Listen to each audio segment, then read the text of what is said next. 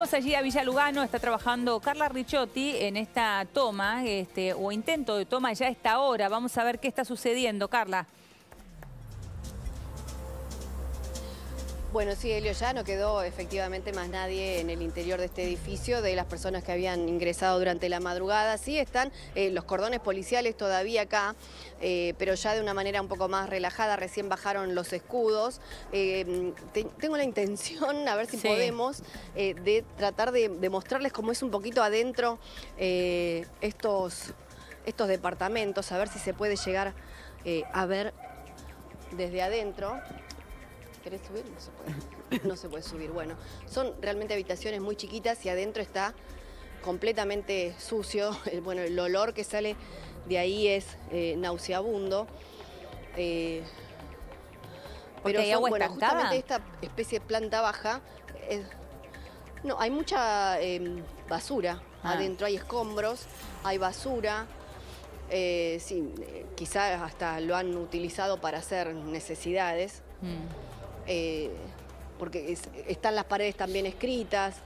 Bueno, así está esta parte acá del interior. Ahora vamos a tratar de, subir, así les mostramos eh, un poco mejor de alguna de estas ventanas. Pero no hay instalaciones de ningún tipo adentro. Totalmente podrido. Nada, nada de instalaciones. ¿Y no? No hay ni siquiera un cableado, se ven las tapitas de los enchufes, de la luz pero eh, bueno, como que alguien sí, efectivamente estuvo adentro, hay botellas, hay un colchón podrido, eh, basura, escombros. Vemos una botella Esto de vino. es lo que sí, se ve desde adentro y habitaciones, sí, y habitaciones muy chiquitas, las paredes escritas, dibujadas. Quizá esto, evidentemente, por la cantidad de, de basura que hay acá adentro, no creo que haya sido de anoche únicamente. Esto hasta debe haber entrado gente. Al estar en todo este edificio con las ventanas abiertas, estas tres ventanas tienen reja nada más. Todas las demás veíamos cómo entraban y salían gente por las ventanas, por los balconcitos. Eh, estar en el medio de un barrio completamente abandonado, hasta quizá los chicos lo, usen como un lugar para venir a, divertirse acá adentro, ¿no? Eh, pero bueno, así está el interior de este lugar que de intentar una nueva licitación para que se termine la construcción, tendrán que arrancar prácticamente de cero, por lo menos en el interior, porque realmente están sin terminar. No se ven eh, grietas o eh, algo que indique como que está eh, a punto de que se puede llegar a caer mm. o algo por el estilo, pero sí los informes que han hecho tanto el gobierno de la ciudad como el IBC dieron el resultado de que están inhabitables, que hasta que no se haga una inspección generalizada eh, y no se revea todo el tema de la construcción aquí dentro de, de estos dos bloques, del 12 y del 13, no se van a poner eh, a, disposición de la gente para la que estaban destinados estos departamentos, claro. claro. Quizá tiene problemas estructurales, ¿no? Que no son visibles para nosotros, pero sí para un ingeniero. Un... Claro. Exacto. Y, algún aporte que les hago. Eh, en 2015 el gobierno de la Ciudad de Buenos Aires, a través del Instituto de Vivienda de la Ciudad, dice que puede comprometer aproximadamente, efectivamente, unas 100 eh, viviendas para los damnificados de un incendio que había ocurrido, y ahora estoy haciendo memoria. Sí, en Villa Cartón. En Villa Cartón.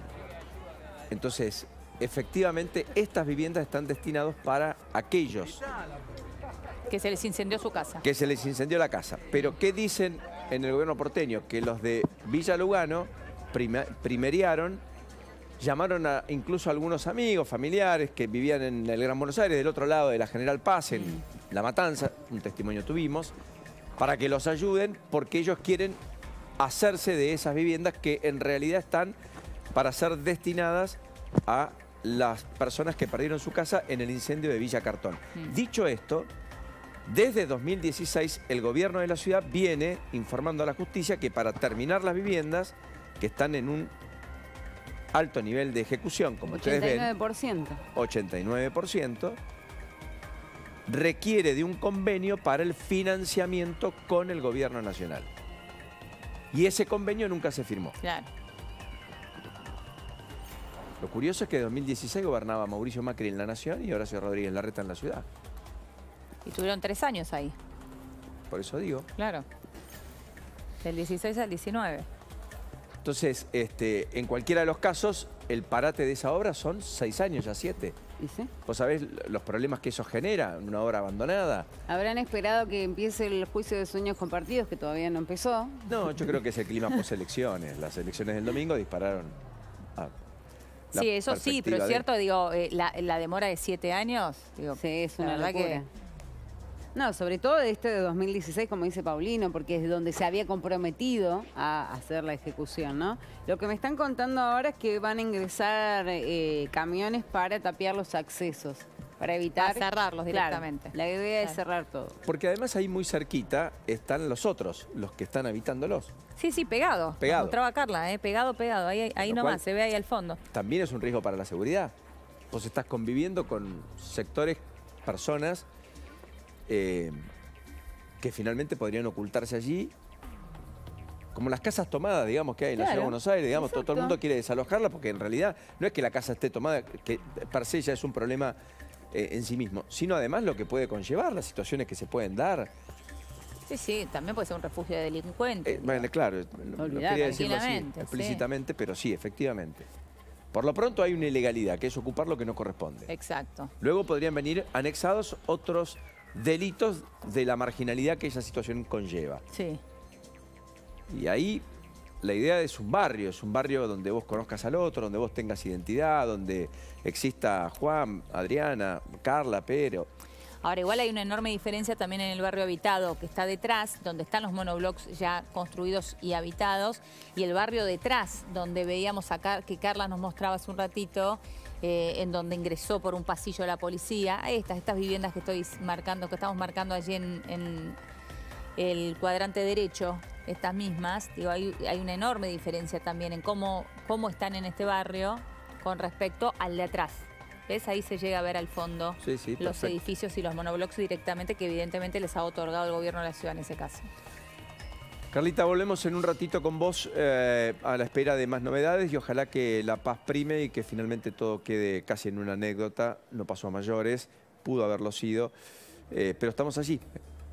¿Te parece bien?